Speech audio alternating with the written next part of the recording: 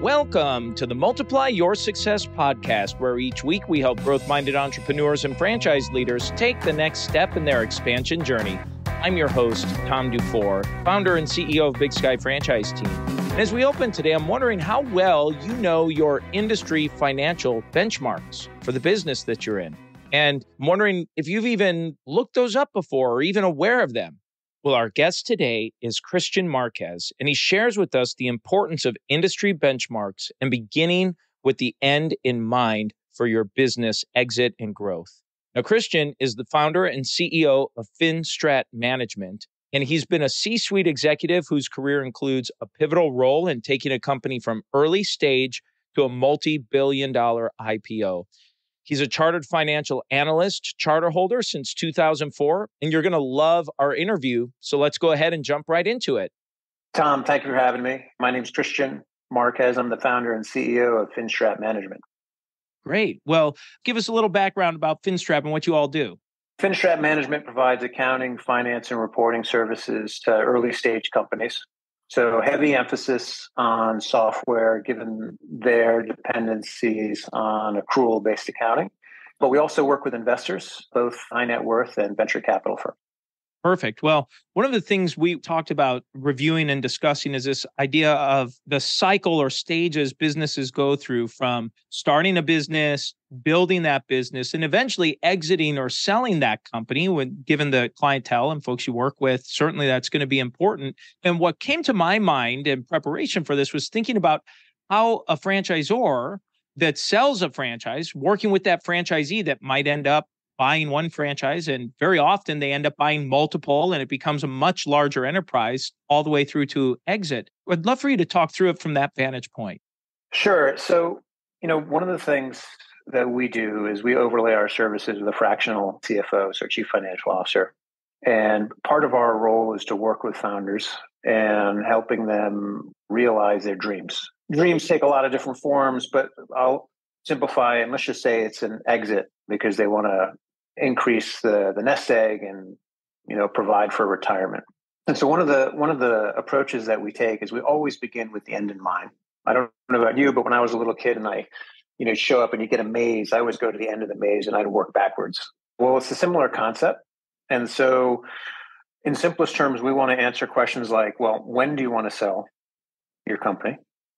How much do you want to sell your company. And then we have to factor taxes and whether or not there are any other equity partners in the business. But once we have answers to those key questions, we can literally work backwards to answer the question of whether or not it's reasonable to achieve your goals in the time frame that you stated. And if it's not, then we can either retool it or reset expectations. And generally what we find there's a couple key inputs. It's just growth. How much revenue can you expect to generate and whether or not there are real opportunities to increase that? then what are your expenses? Because depending on the business, an acquirer is either going to look at your top line, they're going to look at your EBITDA, but there's going to be key metrics that can be modeled to help answer the question what do you need to accomplish in order to achieve your goal? And once we have that model in place, then we can assist a business work towards fulfilling it. But the way I, I would encourage your listeners to think about it is if we were going to build a house, you're going to hire an architect, you're going to have a blueprint. And uh, this is the identical concept. It wouldn't make sense to just hire a general contractor and have at it if you haven't already laid out what the what the plan is going to look like. In, in simplest terms, it's it's just beginning with the end in mind and ensuring there's a, a reasonable plan in place to help achieve it.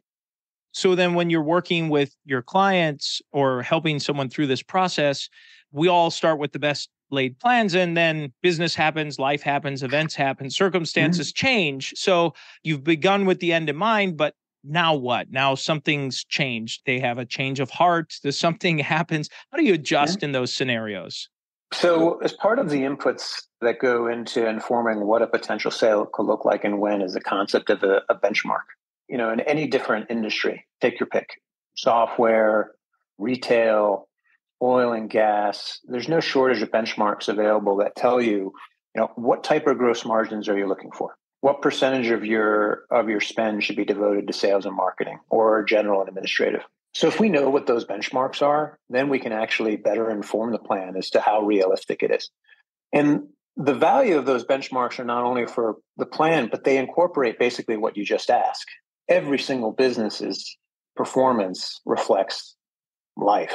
And by consequence, those benchmarks do as well. And so the practical example would be, okay, I'm gonna I'm gonna grow my my revenue 50% month over month. All right, well then I would want to look at what industry you're in and whether or not the bench the benchmarks support that type of growth. And if they don't, you have to reset your expectations because your plan is just so disconnected from what's feasible that you may need to reconsider your spend and your marketing and your approach. Now, to be sure, are there businesses that see exponential growth? 100%.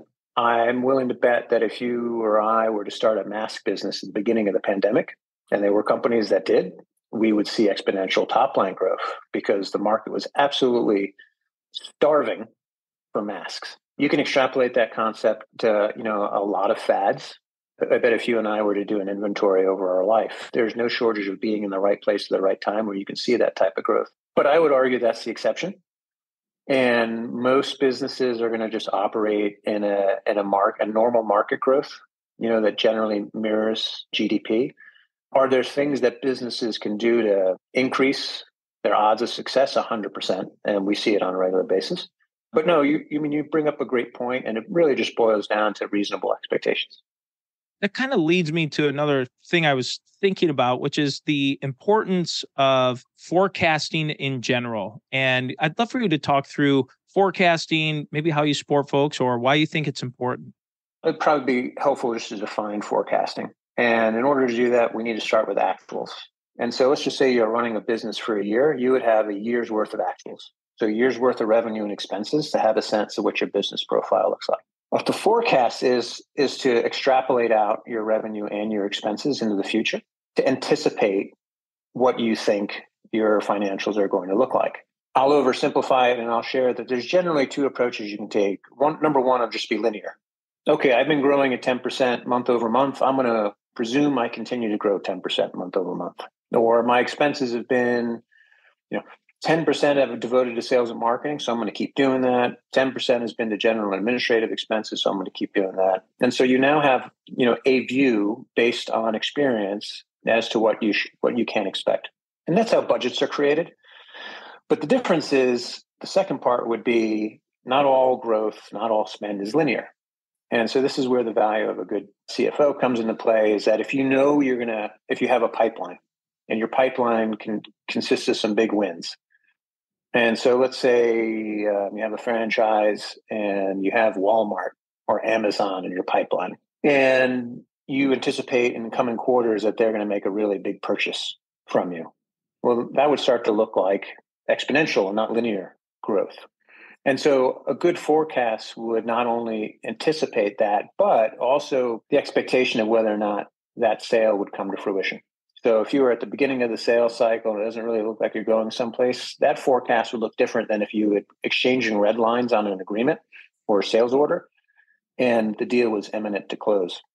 And so depending on on how likely it is, you can now start to better forecast what your revenue expenses are going to look like just by virtue of understanding what's taking place in your business. You know, so on the expense side, the idea would be okay, well, let's say you're going to offer a new service line in your franchise and you know it's going to take more people than you currently have.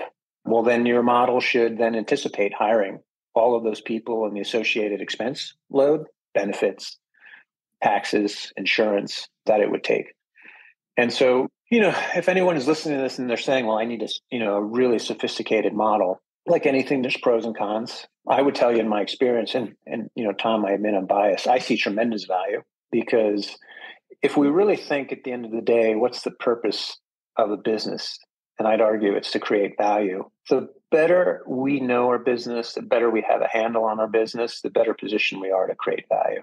And so the most successful CEOs that we work with uh, absolutely invest budget, time, and resources to answering those questions.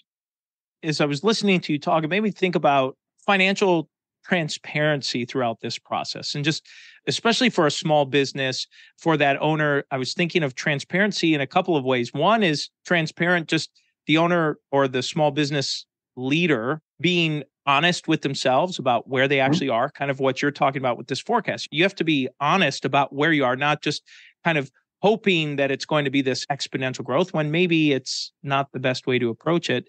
And then transparency, I was thinking too, in terms of just being transparent with your financials with staff or other mm-hmm. key folks at the company.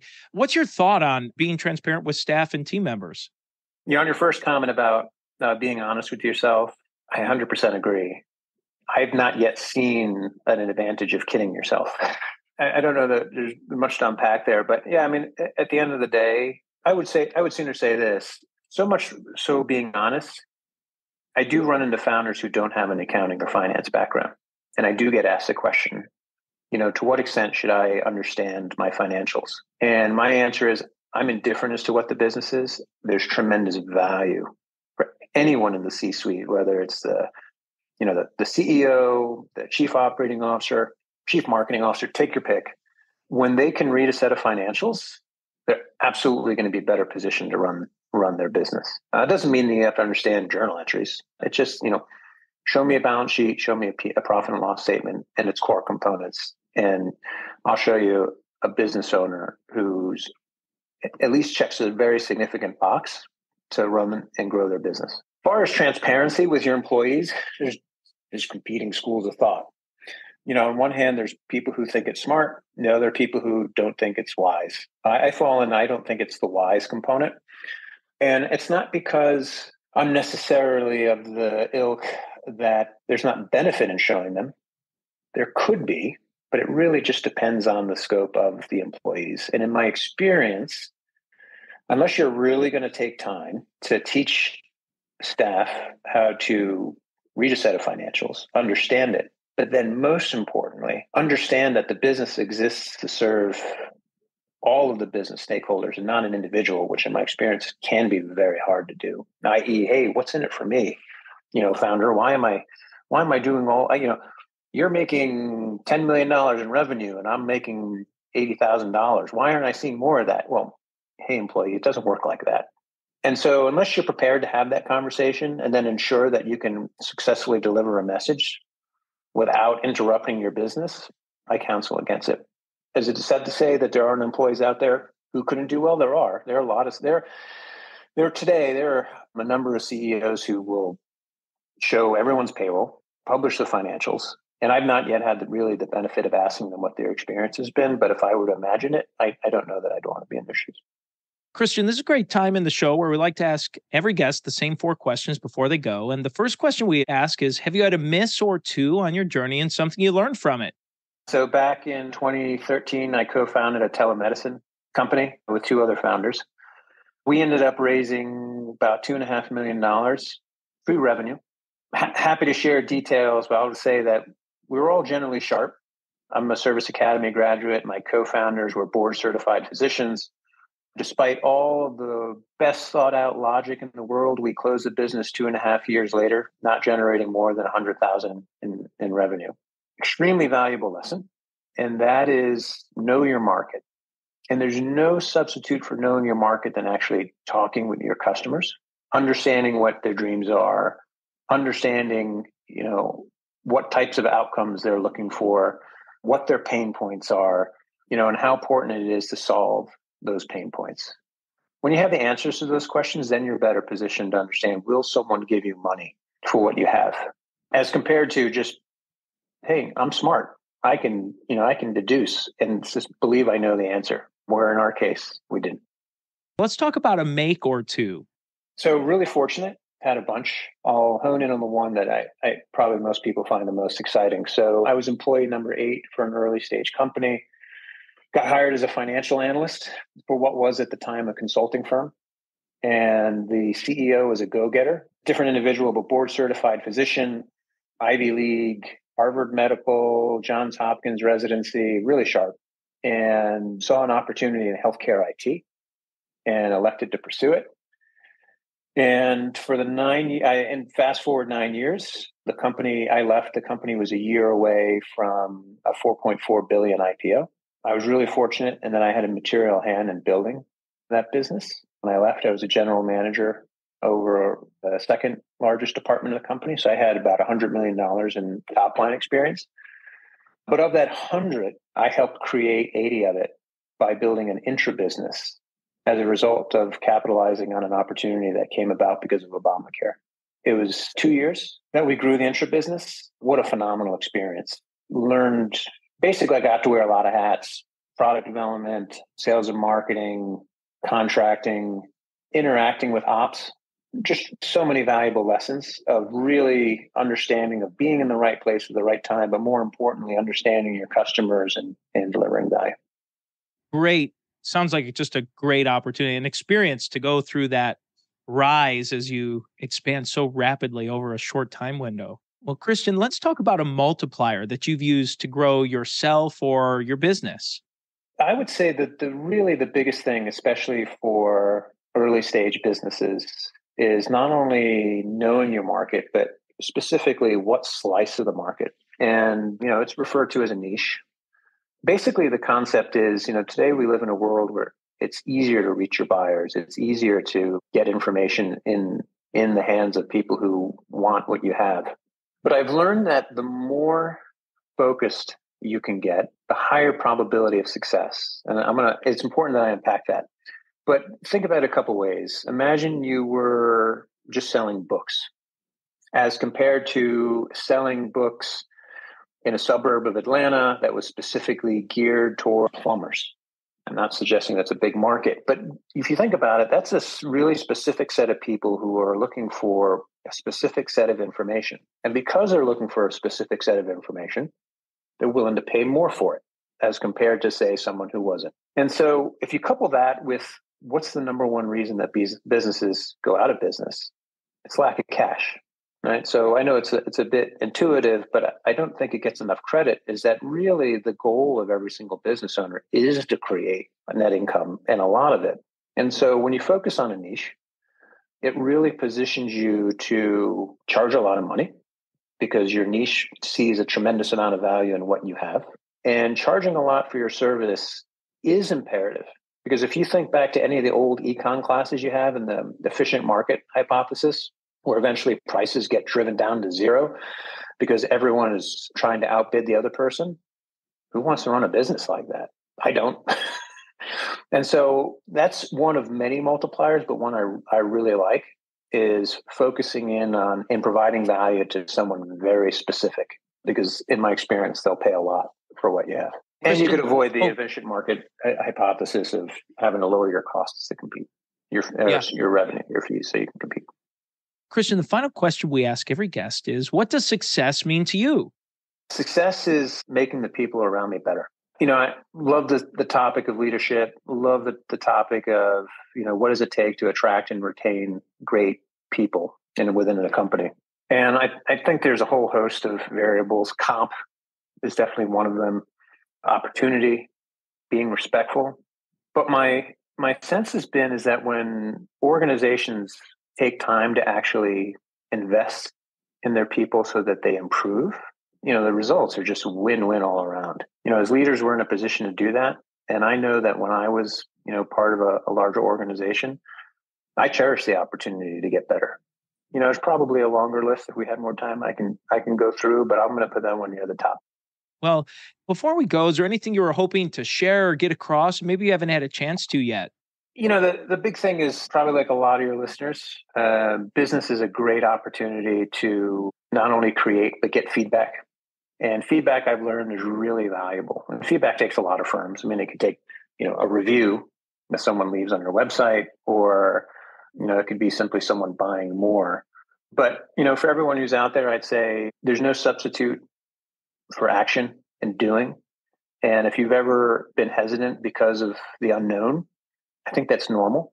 I think the more people who understand that that's just part of the equation and that you're going to encounter that, go through it. Don't let it hold you back. You'll be really grateful that you did. And Kristian, what's the best way for someone to reach out to you, get in contact with you if they're interested in learning a little bit more about what you do? You can go out to our website, fin, F-I-N, strat, S-T-R-A-T, and then mgmt short for management.com and you'll see there's a contact page on there you can submit a request, and someone on the team will get back. And you know, happy to happy to connect with any of our listeners. Kristian, thank you so much for a fantastic interview. And let's go ahead and jump into today's three key takeaways. So, takeaway number one is when Kristian said to begin with the end in mind for your business and think about what do you want to sell your business for? What's your exit? How much do you want to sell for when you exit? I love that description he said. He described when he was a kid, he always would solve mazes by going backwards. He'd start at the end of the maze and work to the front. I thought that was a great analogy there. Takeaway number two is to understand what the benchmarks are for your industry. And he said, Do you understand what those sales benchmarks, marketing, operational costs, others? And that information's available. There's great data out there for you to take a look at for that. Takeaway number three is when he described the miss that he had, where he had co founded a company, raised $2.5 million in pre revenue. And after a couple of years, the company generated less than $100,000 in total revenue over that time. And the lesson learned that he said was to know your market. Know your market, know the market you serve, their preferences, and make sure you're aware and test, test that out. And now it's time for today's win win. So today's win win is when Kristian described what he said the purpose of a business is. And he said that the purpose of a business is to create value, create value. I thought that was a wonderful description and a great way to think of it that if you create enough value for someone, for a customer, they will buy your product or service. If you create enough value for your staff and employees, they will stay with you long term and be productive and and help grow your company. If you produce value for the community you serve and so on. So I thought that was a great takeaway and a great win-win for you to apply. And that's the episode today, folks. Please make sure you subscribe to the podcast and give us a review. And remember, if you or anyone you know might be ready to franchise their business or take their franchise company to the next level, please connect with us at bigskyfranchiseteam.com. Thanks for tuning in, we look forward to having you back next week.